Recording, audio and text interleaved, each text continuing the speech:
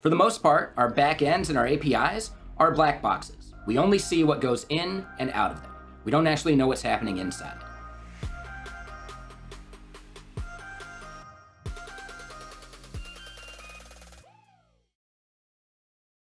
OpenTelemetry is a really important and interesting project.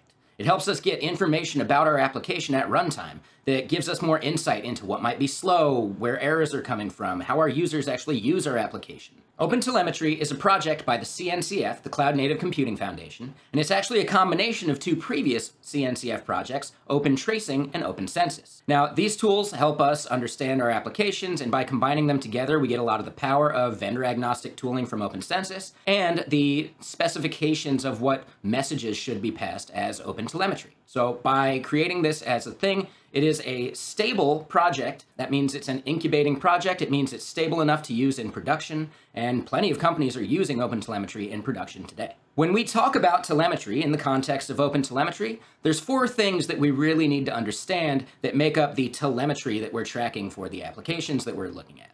So, so those four concepts are traces, which are like the big picture of our application. They're like one request response cycle, and they're made up of smaller spans that make up maybe smaller parts of that request response cycle. So maybe a database request versus a fetch to a third-party API, things like that. The next thing that we're gonna be talking about is metrics. Metrics is basically the performance characteristics, like your CPU or RAM, it might be network latency, it might be all sorts of other stuff where it's just like a number that we're tracking in the context of a trace. After that, we have the idea of logs. I think most of us understand what logs are, but logs are basically a time-stamped record that we can use to understand the flow through our application, where we maybe just wanted to like log something out at a specific point in time. And then finally, there's one more thing called baggage. Baggage is basically just contextual information that we might want to pass from span to span throughout the context of a trace, or maybe even through uh, from trace to trace throughout the context of our application. So baggage is just data that we want to pass around to make sure that we understand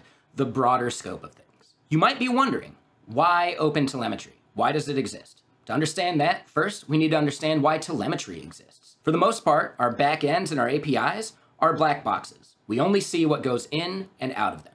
We don't actually know what's happening inside. With telemetry, we can actually instrument things like fetch requests, like database drivers, like various parts of your hot path in your application, maybe authentication, etc.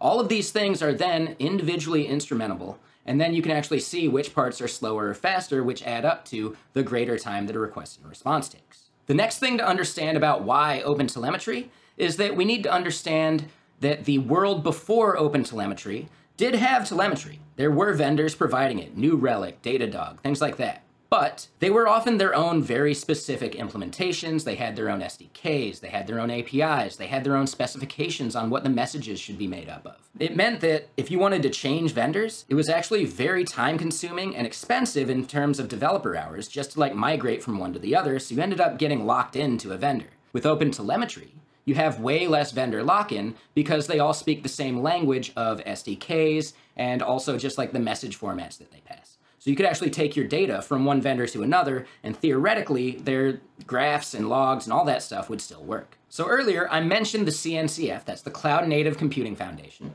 and it's a really cool project. It's a really cool foundation. They actually steward a bunch of really important tools like Kubernetes like Jaeger uh, for tracing. There's a bunch of projects that the CNCF has adopted to make sure that they are not preferring one company or the other. It means that these companies can pool resources together for their development, and it's a, you know, a third party that helps maintain these things without outside influence as much. Before we move on too far into the actual steps to get OpenTelemetry working in your project, we need to maybe point out some other terms first. So those terms are, you know, going to be useful. I'm going to mention them later, and without defining them ahead of time, you might be, you know, a little unfamiliar. So the first term is OTLP.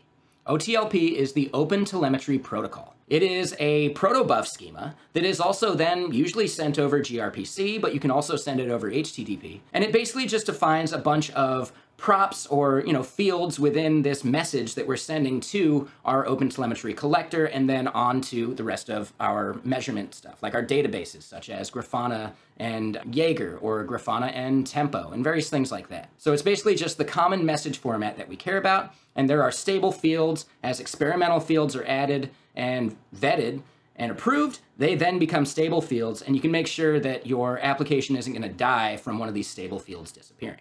After OTLP, we need to understand what the collector is. And the collector is its own service. It's its own tool that you will spin up and use to take in data from the rest of your application and pass it on to your uh, databases in the cloud, such as Prometheus or uh, you know Tempo or Loki or whatever, right? On Grafana Cloud or wherever you want to put it. Basically, the collector sits between your applications and your services and your backend and the databases where you want to store this data. Why is that necessary? Well, the collector can aggregate data together. It can scrub personally identifiable information out of that. It can batch requests to the third parties to keep you from getting uh, rate limited. It's a very useful thing.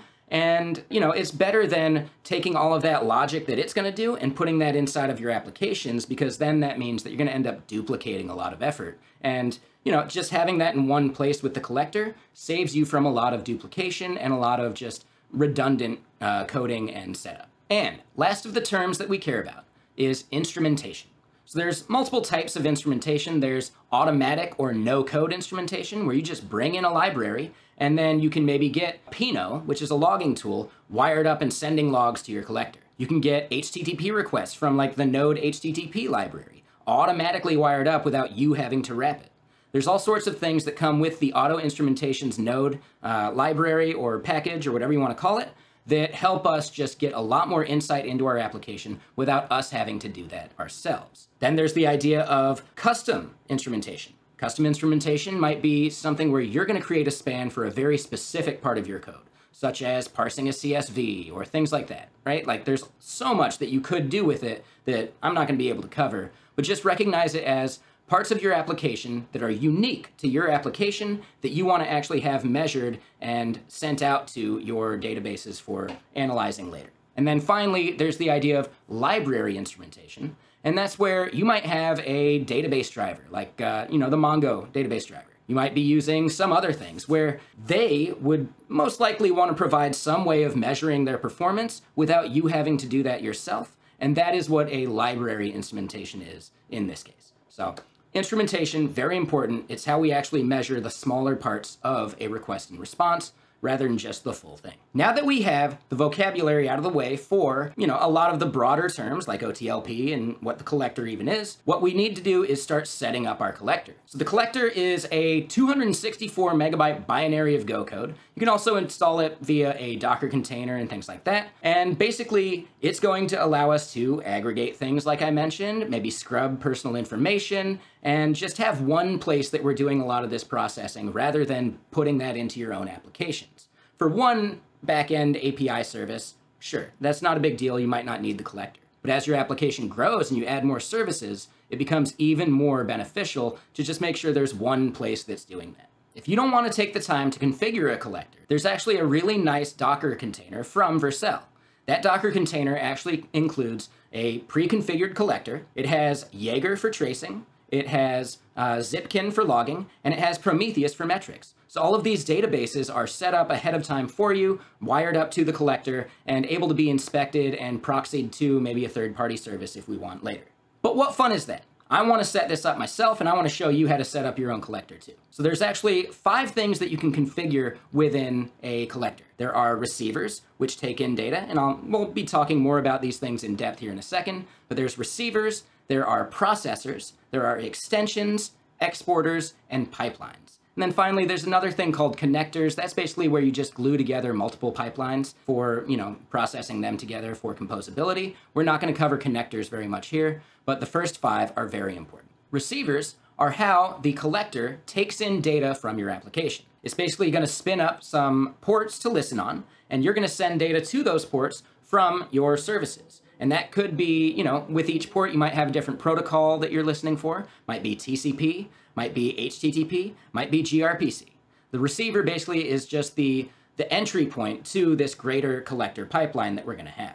Once the collector receives some data, it then passes it to processors. And processors might batch things together. Processors might also make sure that the uh, various pipeline isn't consuming too much RAM They might also scrub for personal information. The processor is what is basically transforming the messages as the collector takes them in before they get exported out to a third party like Zipkin or Prometheus or whatever. Extensions are extra things that aren't directly related to telemetry, right? They're more related to the collector itself. So you might have an extension monitoring the health of the collector itself.